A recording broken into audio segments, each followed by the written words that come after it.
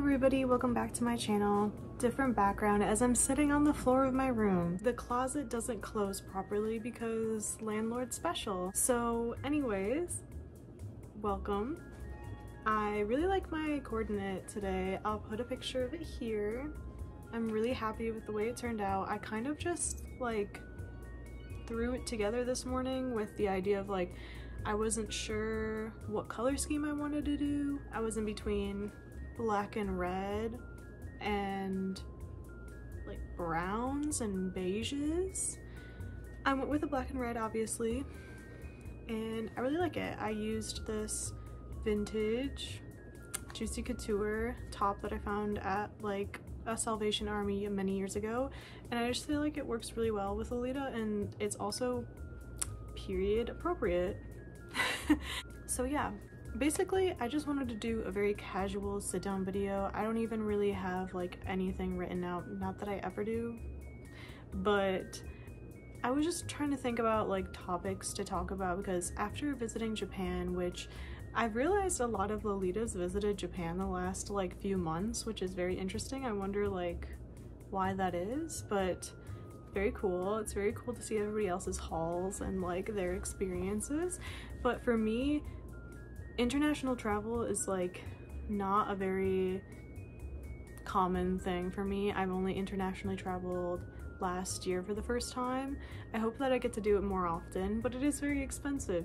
And living in America, it's not the closest to other places, so um, it's not like I can take a cool train to a different country or something. But yeah, so I hope to visit other countries and I hope to go back to Japan someday in the future and I think it'd be really cool to do, so I hope that that will happen. But after visiting Japan and seeing it through a J fashion lens, which I'm sure everybody who watches this channel who's been to Japan probably has done, not like I'm that special for thinking that way, but I just noticed once I got back home how different I felt in the sense of wearing J fashion in public. Um, I've never been person to be afraid to wear what I want to wear in public. I mean, there comes the uncomfortable parts of being the person that's sticking out and knowing that people are looking at you. And then there's just not caring about what people think. And you would think that that goes hand in hand and like oh if you don't care what people think then you don't think about um, people looking at you or being uncomfortable with knowing that people are looking at you. Um, and it's more about just the feeling that you get. It's not about the actual care that somebody is looking at you and possibly judging you in any form. Um, it's more just like the feeling of being watched or feeling like you're the different person. And I think it's great to be different, but I don't know if that makes any sense. I'm sure if you dress in fashion like this, you can understand what I'm trying to get at. But basically in Japan, before I wore Lolita, which I wore like J fashion centric things before I wore Lolita completely for a day in Japan. It was like my third or fourth day that I actually wore a full Lolita coordinate and it was also the first day that I was going to take like many trains by myself and I was very scared about that because I don't live in a place that has public transport like that. I have done transport like that um, in Los Angeles and in New York City, but never by myself. I was going to be going to like Shibuya Station and um, Shinjuku and like a lot of popular areas and I always heard about how complicated those stations are and I played Persona 5 and that was always confusing. My point is, is that I was not sure how it was gonna go, basically. I was afraid that I was going to like super stand out by being like a lost foreigner dressed in like a full Lolita coordinate um, because if it was America I would have felt that way um, and I'm not even a foreigner in America, but you know, if you're in a different city too, you'll be like, I don't look like a native. So it's just like kind of an embarrassing feeling, like you just don't want to like look like you're a mess. So I was afraid I was gonna be like that.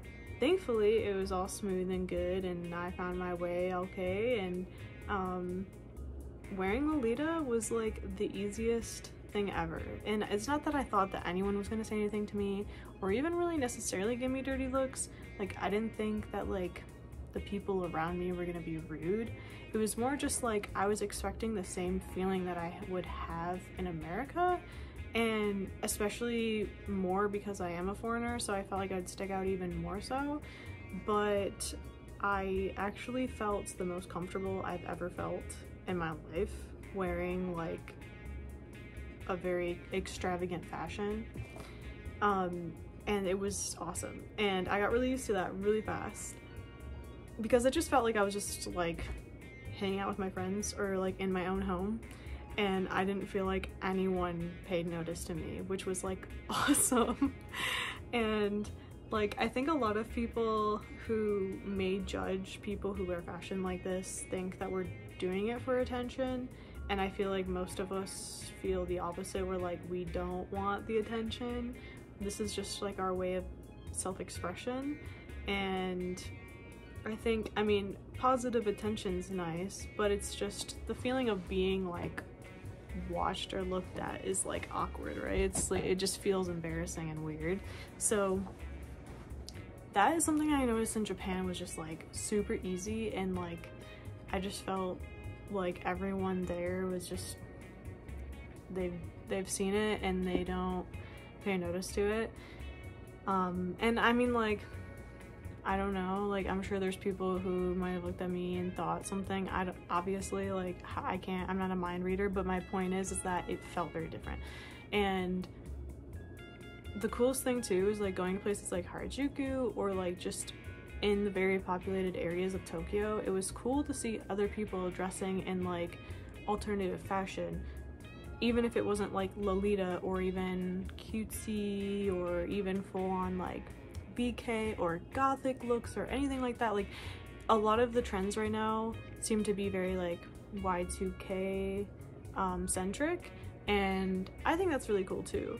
But it's really neat to see things like that be the what's on trend for the more alternative fashion people my point is is that it was just very cool to like it, i was just inspired like all the time seeing people's cool outfits and like admiring that and feeling like i was in a very cool place and going coming back to america which i don't live in like New York or something. And I I have lived in LA and I didn't even feel like this in Los Angeles.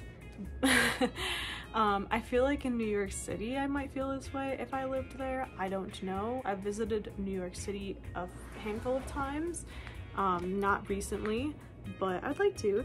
But when I was there, I could see being alternative and feeling similar to how I did in Tokyo.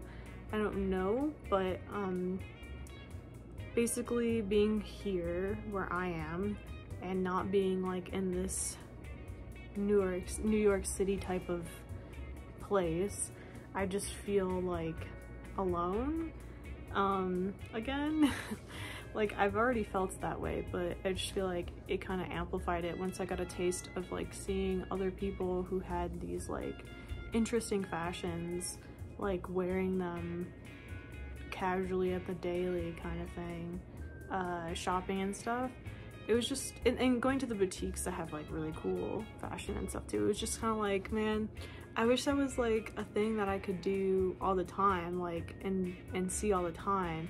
Because like here, it's like if there is a cool fashion boutique it's like one and it's like in a random strip mall or something like that and it's like really tiny and they don't even really have much stock and like I mean like it it's cool. Like I definitely would want to support those places. It's just more like it's not a whole like shopping mall of those places and then like a whole like neighborhood of people who dress cool you know what i'm saying uh, and i don't know it just i feel like it gives me a feeling of like i wish that like that could be the case here.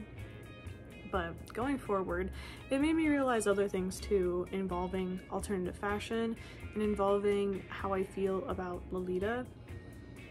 Um and I will always consider myself like a Lolita to some extent, but seeing so many like alternative fashions in person and like the trendiness and like boutiques and all those things, like it made me realize that um I don't know how I feel about like the Lolita rules and guidelines and all of that.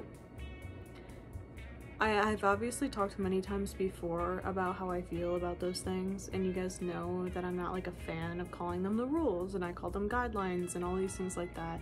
And and I get it. I guess I just feel extra disconnected from it now that I like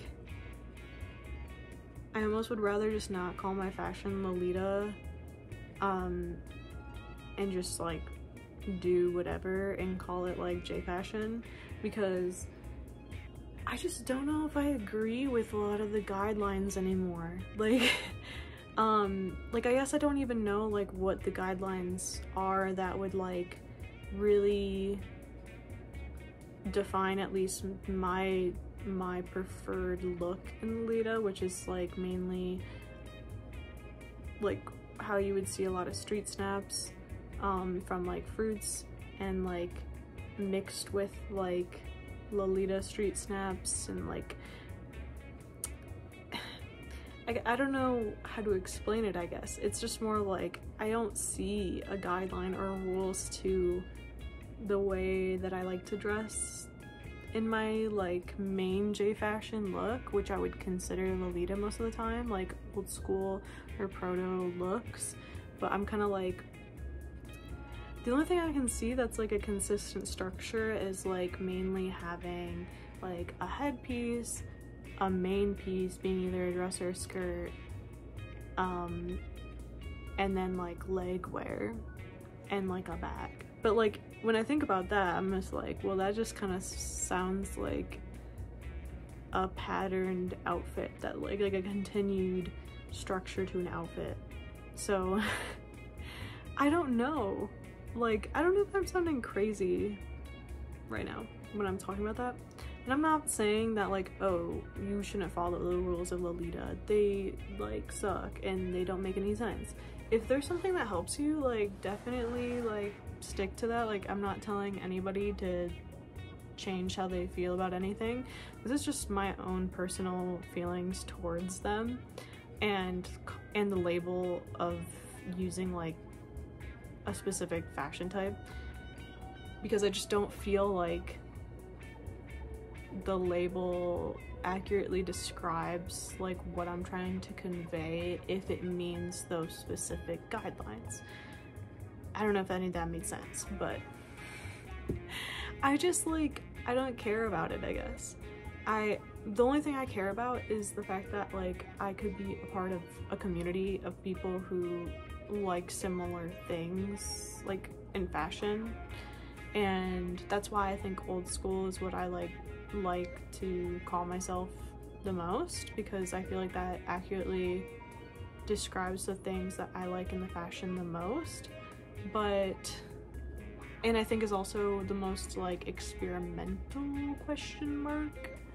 Uh, I feel like old schoolers tend to have more of an open mind in that um in terms of straying away from the typical traditional guidebook guideline. But yeah, I mean, that was just a personal rant that, I mean, not really rant, not like I'm really upset about anything, but it's just something that was on my mind that I felt like talking about. And let me know how you guys feel, if you've ever thought that, or if I made sense at all. Again, this is totally a disclaimer, not telling you to change your mind about the rules or the guidelines or saying like I don't understand them in a way of like I get why they're there, like I get the reason why people like them, um, the preservation and all of that stuff. I understand that. This is just my own like mind thinking about my own personal style. Um, but yeah, let me know your thoughts. And sorry that I rambled a bunch, but thanks for sticking with me, and I'll see you later.